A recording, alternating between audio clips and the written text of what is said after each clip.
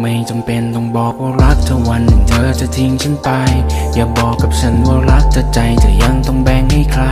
จะหากว่าเขาคนนั้นเข้ามา เธอก็ไม่ต้องเสียเวลา